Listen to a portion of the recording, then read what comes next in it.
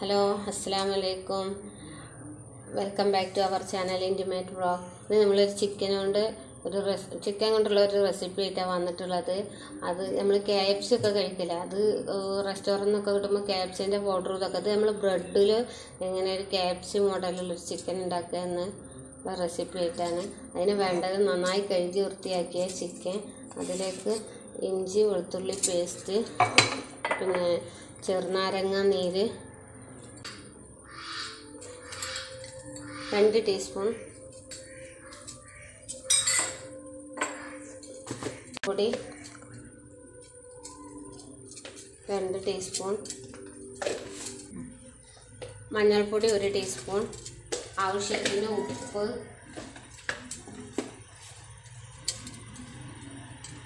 ഇട്ട് നന്നായി കുഴച്ച് ഒരു അരമണിക്കൂർ നമുക്ക് റെസ്റ്റ് ചെയ്യാൻ വെക്കാം. നന്നായി കുഴച്ച് ഇതിലൊക്കെ പിടിച്ചതിന്റെ ശേഷം നമുക്ക് വറുത്ത് കോരുന്നത് എങ്ങനെയാണെന്ന് നോക്കാം. അങ്ങനെ നമ്മുടെ ചിക്കനിൽ മസാല ഒക്കെ പിടിച്ച് കഴിഞ്ഞിട്ടുണ്ട്. അപ്പോൾ ഈ ചിക്കന്റെ കൂടെ കഴിക്കാൻ സൂപ്പർ ടേസ്റ്റാണ് ഇങ്ങനെ പൊട്ടാറ്റോ. അപ്പോൾ ആദ്യം തന്നെ ആ എണ്ണേന്റെ കളറൊക്കെ മാറണക്കായ മുന്നേ ആ എണ്ണയിൽ തന്നെ കുറച്ച് പൊട്ടാറ്റോ വറുത്തെടുക്കുന്നുണ്ട്.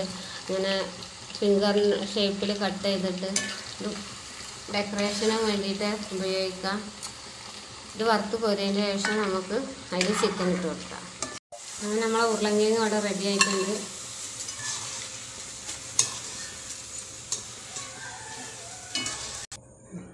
അങ്ങനെ നമ്മൾ ഉരുളങ്കിഴങ്ങ് ഇവിടെ റെഡി ആയിട്ടുണ്ട്. അത് ഡെക്കറേഷൻ ഉള്ളതാണ്. ഇത് അങ്ങോട്ട് മാറ്റി വെക്കാം. എന്നിട്ട് നമ്മൾ ചിക്കൻ ഇട്ട് കൊടുക്കാം.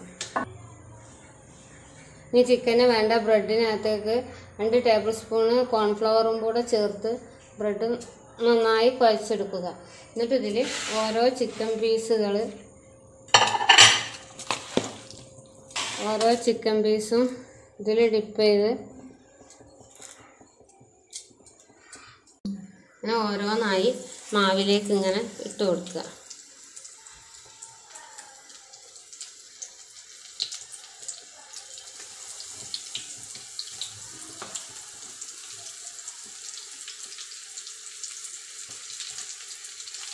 നല്ല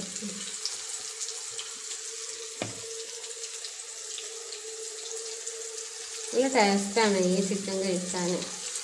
നമുക്ക് അപ്പത്തങ്ങളെ കൂടെയൊക്കെ പൊറോട്ട ഇത് ഏത് അപ്പത്തിന്റെ കൂടെ ആയാലും ഇങ്ങനെ ഉണ്ടാക്കി കഴിക്കുകയാണെങ്കിൽ മക്കൾക്കും തന്നെ നല്ല ഇഷ്ടമാവും ചിക്കൻ ഏത് രീതിയിൽ ഉണ്ടാക്കിയാലും തന്നെ മക്കൾക്ക് ഇഷ്ടമാണല്ലോ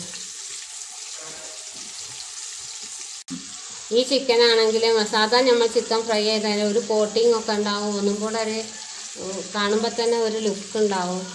അപ്പോൾ എങ്ങനെയായാലും എല്ലാവർക്കും ഇഷ്ടമാവും എല്ലാവരും ട്രൈ ചെയ്ത് നോക്കണം. അതിന്റെ എന്തെങ്കിലും അഭിപ്രായങ്ങളോ ചെയ്ത് നോക്കിയിട്ട് ഇഷ്ടമായോ ഇല്ലയോ ഇതൊക്കെ നിങ്ങൾക്ക് കമന്റിലൂടെ അറിയിക്കുകയും വേണം. ചിക്കൻ ഇവിടെ റെഡി ആയിട്ടുണ്ട്. അങ്ങനെ ഓരോന്നും കൊണ്ട് വറുത്ത് പോരുക